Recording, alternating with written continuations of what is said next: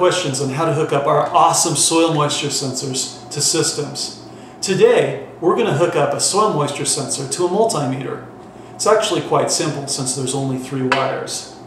We have the bare wire, which goes to the ground or common of the multimeter and to the negative terminal of the battery.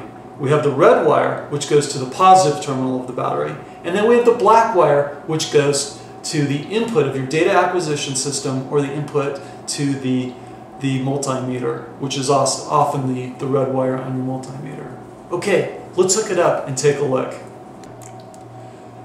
Okay, so we have a soil moisture sensor here, a 9 volt battery, and a multimeter.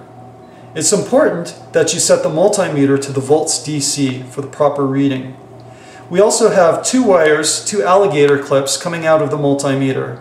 A black one, which is the common, and a red one, which is the voltage input. Okay, so let's look at the, the wiring on the sensor.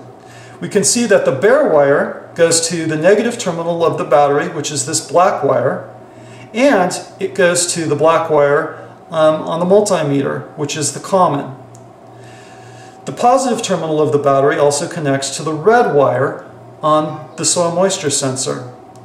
The black wire is the voltage output of the sensor, and so it goes to the voltage input on the multimeter. You can quickly determine if you've hooked up everything correctly by grabbing the blade of the probe. The sensor will measure the moisture in your hands and display a positive voltage on the multimeter. When you release it, it should go back to zero. If you ever forget how to wire up the probe, just look at the blade. There's a wiring diagram. Thanks for watching. See other videos, cool technical garden products at vegetronix.com.